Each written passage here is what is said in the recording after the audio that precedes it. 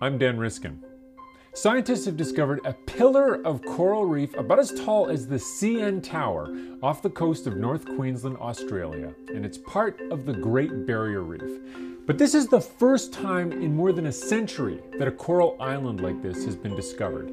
It's wedge shaped, it's about a kilometer and a half long at its base, and then it comes up for half a kilometer to a top that is still about 40 meters below the surface of the water. And it wasn't known about until now.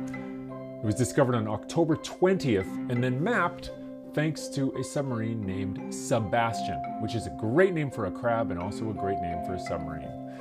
Now, corals are famously vulnerable to climate change. When there's a heat wave, they die in huge numbers, even if the heat wave is only an increase in water temperature of about 1 degree Celsius. And there were successive heat waves in 2016 and 2017 that absolutely did a number on the Great Barrier Reef, to the point that now, if you look across the entire 200,000 square kilometers of it, populations of corals are currently about half of what they were 30 years ago.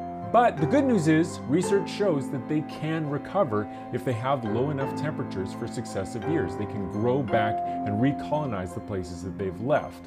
So, corals, more than just about any other kind of animal on the planet, and yes, they are animals, not plants, really exemplify why we need climate action now. For CTVNews.ca, I'm Dan Riskin.